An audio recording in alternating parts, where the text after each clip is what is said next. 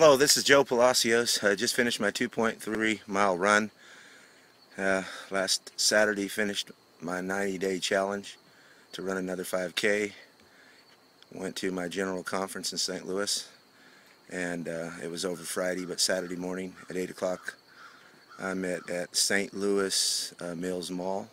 There was over 200 runners. We were running for lymphoma cancer and uh, started the race at 8. I finished uh, the race 8, uh, let me see, 25 minutes and I think it was 34 seconds.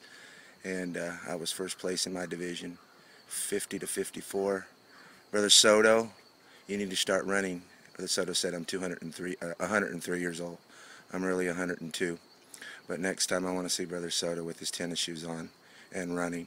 Awesome preaching, Brother Soto. Got to get in shape. Uh, so here we go all healthy habits lifestyle. We want to thank you for all your diligence and uh, just keep going. Martin Calderon is almost with his, done with his 90-day challenge. A few more pounds away from losing 100 pounds in 90 days. If you're thinking that this doesn't work or this is a gimmick, I've been doing this over a year.